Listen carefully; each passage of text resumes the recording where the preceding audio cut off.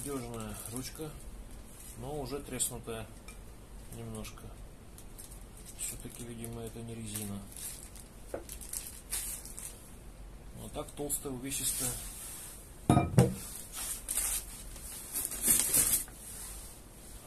Это у нас шестигранник для поднятия.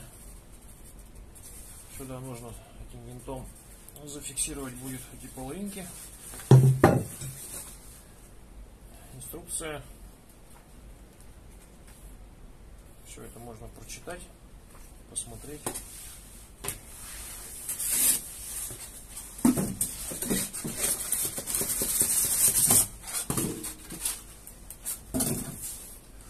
Да, вот такая вот штуковина. Он очень тяжелый. Коробку одну ворочить. Ну, можно, конечно. Но, но достаточно тяжелая штука. Вроде говорят, что поднимают просто вот этой чашей автомобиля и все в порядке. За счет того, что она широкая и здесь шипы невысокие. Но я думаю, сюда надо сделать прокладку из резины, из прочной. Чтобы резиной все-таки опиралась. Сейчас я его достану, прикручу и покажу. Домкрат вынул я из коробки с помощью небольшого подъемного устройства гаражного. Пенопласт убрал, но вот последний пенопласт нижний, он был здесь приклеен, приходится его кусочками отрывать. Вот он тут сильно приклеен как-то почему-то, надо это все убрать. Заодно ролики проверю, как они здесь смазаны, не смазаны. Ну все, в принципе. Единственное, что мне такую длинную рукоятку не надо, я ее убрал, вот эту верхнюю часть. Пока что. Тестировать я это буду все летом, когда у меня... А, это все я весной буду тестировать, когда надо будет резину менять. Пока что он мне пригодится для ремонта мототехники, для каких-то бытовых нужд зимой. Здесь вот есть такой стопор. Надо вот так вот его убрать отсюда. Вот, и все, в принципе. Ну и надо вот этот вот болт подоткрутить. Так. Все, в карданчик мы попали. Болтом фиксируем. Но не до конца, потому что если вы его закрутите прямо очень сильно, вращаться не будет рукоятка. Вот, она не выпадывает, но может вращаться. В состоянии, когда закручено по часовой стрелке, можно, в принципе, начинать поднимать. Да, вот, давайте поднимем. Вот раз, два, три до конца, четыре, пять. Ну, давайте еще. Шесть. Все, шесть она уже... О, ну, шесть полный прошел и... Нет, седьмой уже не идет. 6 полных качков. Давайте измерим, что у нас тут получилось по высоте. По высоте от пола 47 с половиной. Ну, 47 с половиной, да. 47 с половиной, если будет подушка проставочная, резиновая, ну, где-то сантиметр, наверное. Значит, 48 с половиной. Не обманули. Здесь заявленное 470 миллиметров. 47 с половиной это уже вот до сюда, до края. Так что соответствует. И с проставочной подушкой еще на сантиметр будет больше. Давайте его спустим. Надо ее крутить против часовой стрелки. Ручку. Вот. Она пошла вниз. Вот так вот. Все, отлично. Закручиваем. Давайте посмотрим подъемную высоту. Ну-ка давайте еще раз. Вот я все в самом низу. Да. В самом низу.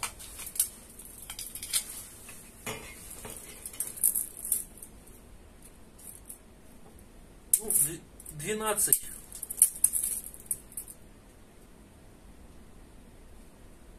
Двенадцать с половиной по ребру будет вот здесь, когда ребро будет стоять у автомобиля, у борта, 12 с половиной, то есть на сантиметрик они немножко обманули.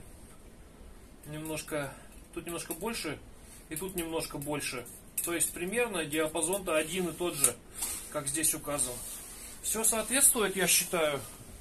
Ну и в двух словах, почему именно этот домкрат. Он, во-первых, обошелся мне крайне недорого. Я все время, как ходил по Леруа Мерлену, там я покупал. Мне все было жалко денег, я все что-то присматривался, думал, надо, не надо, и так далее, и так далее. Но постепенно я автомобили поднимал, чтобы менять колеса и себе, как говорится, и знакомым, и родственникам. Вот, но есть у меня домкрат обычный, вот такой вот, двухтонный. Но он, конечно, легкий в переноске. Я не знаю, сколько он весит, килограмм 5 может, с чем-то. Вот, но все вот эти вот хлипкие палочки, оно, конечно, поднимает, но тут он и подтекает масло у него. Неудобно им пользоваться, короче. Да, он поднимает, но не так устойчиво он на этих роликах стоит. Хотелось чего-то более надежного, более удобного. Тем не менее, домкрат маленький я использовать буду, где-то в легкий в переноске. Этот очень тяжелый, этот весит почти 30 килограмм, 28,5, что ли у него заявлено. Но он мне понравился, во-первых, ценой, во-вторых, он мне понравился сборкой. Он очень так массивно сделан, у него массивные колеса. Тут все неплохо сделано. Единственное, что мне не нравится, вот тут вот не проварен шов. Да? Вот с этой стороны тоже. Ну, видимо, считается, что нагрузка приходится вот сюда на отрыв. Тут не, не несет никакой нагрузки этот шов, то есть он не держит, видимо, если это крыло на излом идет. Ну да, вот здесь вот должно быть приварено. Да. Да, приварено только вот. А, изнутри обварено. Внутренняя часть обварена. Видите, она обварена хорошо внутри и снаружи вот это вот крыло. А, а здесь и внутри на горизонтальной части сварки нет. Ну, да, действительно, этот шов может быть держать и будь, не будет. Но если бы я делал, я бы обварил и здесь, и внутри. Потому что нагрузка какая-то сюда приходится все равно. В общем, я понял сейчас, сидя в гараже, уже понял, в чем здесь э, главная ошибка этого домкрата.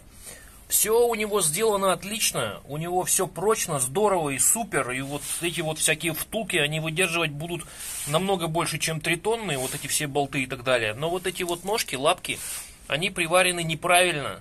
Они приварены неправильно, и нагрузка на них будет э, держаться вот здесь вот только на сварочке немножечко. Нужно было сделать по-другому, нужно было эти лапки перевернуть наоборот. Сейчас я вам покажу, как правильно должно быть.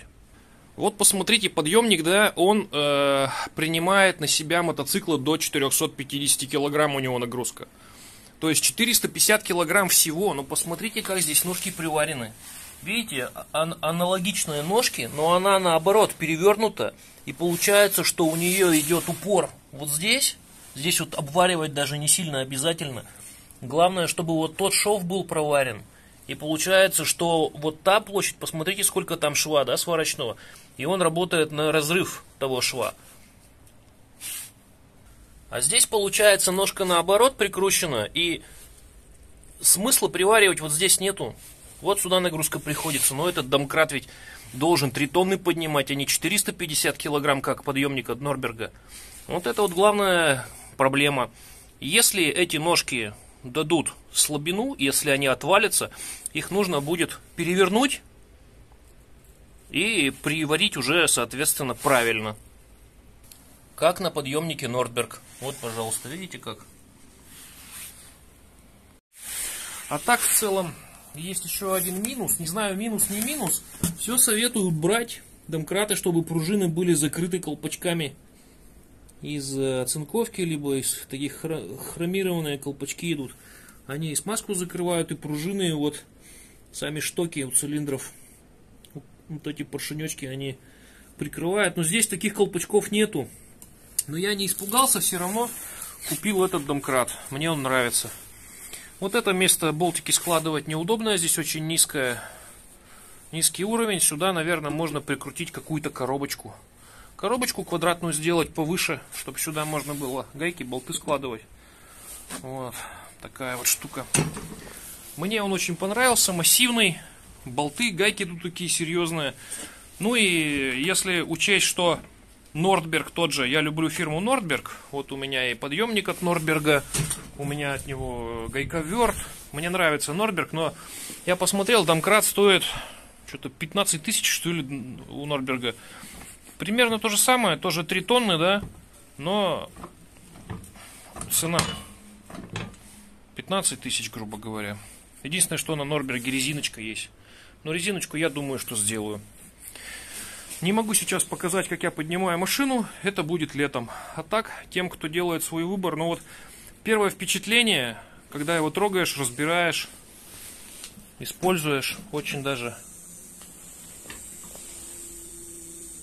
очень даже неплохо выглядит. Массивный. По сравнению, говорю, с двухтонным домкратиком вот с этим, этот, не знаю, раз, наверное, в 5 массивнее. Очень серьезная штуковина. Я рекомендую к покупке. Я так подумал, что я купил его где-то за 8200 в Леруа Мерлене. Они там последние три штуки у них лежали. В интернете где-то он по 9 с чем-то. Можно его на заказ купить, но там надо за доставку опять платить.